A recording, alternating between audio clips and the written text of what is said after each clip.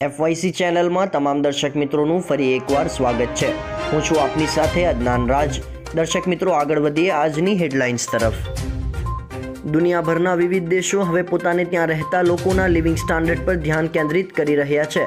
લોકોને સારું જીવન ધોરણ મળે અને લોકો કઈ રીતે તણાવમુક્ત જીવન જીવી શકે તે માટે દુનિયાભરમાં પ્રયાસ થઈ રહ્યા છે.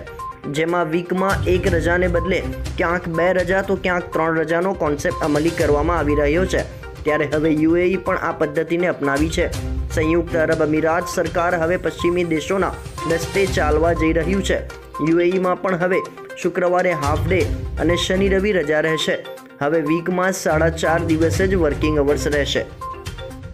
વાલીઓ માટે આ વાત બની. હવે ચિંતાજનક, વડોદરામાં ધોરણ બાર સાયન્સની વિદ્યાર્થીનીએ ગળે ફાંસો ખાઈને કર્યો આપઘાત. છેલ્લા દોઢ વર્ષમાં કુલ એકવીસ કિશોર કિશોરીઓએ કરી છે આત્મહત્યા. આ સમગ્ર વિગત બાદ હવે એમ લાગી રહ્યું છે કે વાલીઓએ સૌપ્રથમ તેમના બાળકો સાથે સમય કાઢવો આવશ્યક બન્યો છે. માતા પિતાને જ્યારે પણ એમ લાગે કે તેઓના બાળકના સ્વાસ્થ્ય કે વર્તનમાં ફેરફાર છે, તો તેની નોંધ લઈને કાઉન્સિલર કે થેરાપિસ્ટની સલાહ લેવી જરૂરી છે. રક્ષામંત્રી રાજનાથસિંહે દેશના પહેલા સીડીએસ જનરલ બિપિન રાવતના હેલિકોપ્ટર ક્રેશ અંગે સંસદમાં આપ્યું નિવેદન. તેમણે આ ઘટના વિશે સમગ્ર જાણકારી આપતા તમામ મૃતકોના પરિવારજનો પ્રત્યે સંવેદના વ્યક્ત કરી. તેમણે વધુમાં કહ્યું કે આ દુર્ઘટનાની તપાસ માટે એક કમિટી બનાવવામાં આવી છે, જે કમિટી સમગ્ર ઘટના ઉપર તપાસ હાથ ધરશે. આ તે કેવી કરુણતા, જન્મદિવસે જ થયું મોત. બર્થડે પાર્ટી મનાવવા એક્ટિવા પર જઈ રહેલા ત્રણ મિત્રોને નડ્યો અકસ્માત. ડમ્પરે ટક્કર મારતા બેના થયા મોત. મૃતક બંને પોતાના પરિવારના એકના એક જ દીકરા હતા. એક મિત્રનું સ્થળ પર જ નિપજ્યું મોત, એકની હાલત ગંભીર. જેનો બર્થડે હતો તેનું ગાંધીનગર સિવિલ હોસ્પિટલમાં સારવાર દરમિયાન થયું મોત.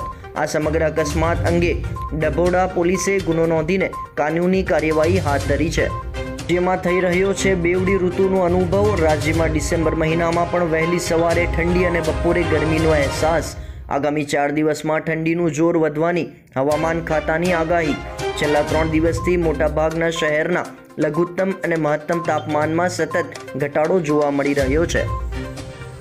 દેશમાં છેલ્લા એક વર્ષથી પણ વધુ સમયથી ચાલી રહેલા ખેડૂત આંદોલનનો આજે આવ્યો અંત.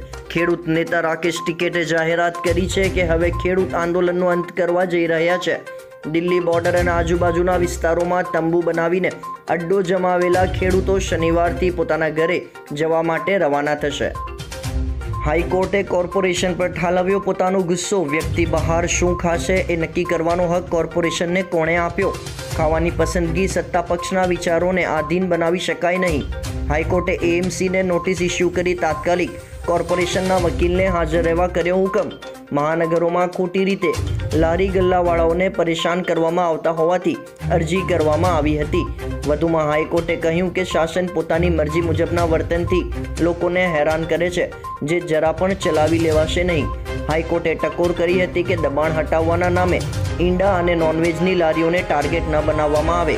હાઈકોર્ટે કોર્પોરેશનને સૂચના આપી છે કે લારી ગલ્લાવાળાઓ ચોવીસ કલાકમાં અરજી કર્યા બાદ તેમની લારી કે જે પણ સામગ્રી કોર્પોરેશનના કબજામાં છે તેને છોડી દેવામાં આવે. ભારતીય સેનામાં પાંત્રીસ વર્ષ ફરજ બજાવનાર રિટાયર્ડ બ્રિગેડિયરનો એક મોટો ઘટસ્ફોટ હેલિકોપ્ટર ક્રેશ થવા પાછળ એલટીટીઈના સ્લીપર સેલ હોઈ શકે છે. તેમણે આઈએસઆઈ સાથે મળીને હુમલો કર્યો હોય તેવું પણ શક્ય છે. તેમનું માનવું છે કે સીડીએસના હેલિકોપ્ટરને ટાર્ગેટ બનાવવું એ એલટીટીઈની રણનીતિનો એક ભાગ હોઈ શકે છે. એલટીટીઈના કેડર આઈઈડી બોમ્બને પ્લાન્ટ કરવામાં નિષ્ણાત છે. આ સિવાય એલટીટીઈની પાસે ભારતના સૌથી મોટા જવાનને મારવાનો હેતુ પણ છે. એનઆઈએ આ ભયાનક હેલિકોપ્ટર ક્રેશની તપાસ કરવી જોઈએ. દર્શક મિત્રો, હવે વિદાય લઈશું. આવતીકાલે ફરી મળીશું એક નવી માહિતી સાથે. જોતા રહો એફવાયસી ચેનલ